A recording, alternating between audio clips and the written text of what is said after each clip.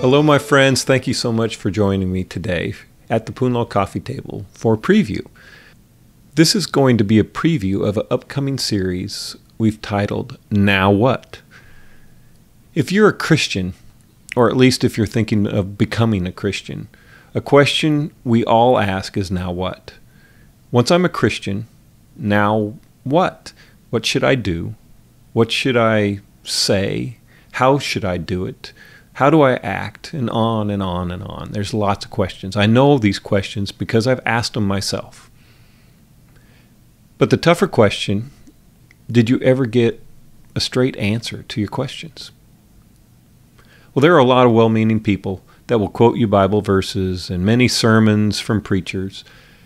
But for me, at least over the years, I found this stuff confused me more than it really helped me. The questions hounded me for years as a young Christian. What do we do once we become a Christian? What now what? Now the short answer to all our now whats is simply the Bible. And I know that's not very uh, comforting for those of you that have just become Christians, but read our Bible is how we get the now whats.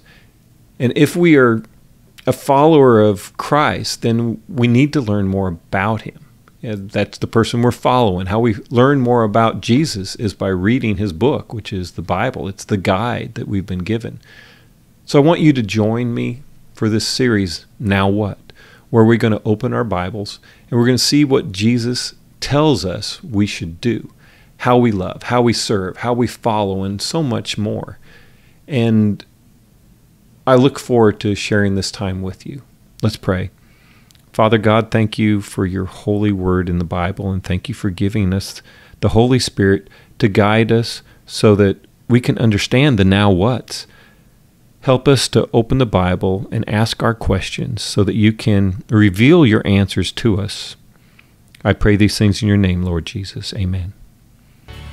So trust God with your outcomes, and He will give you peace.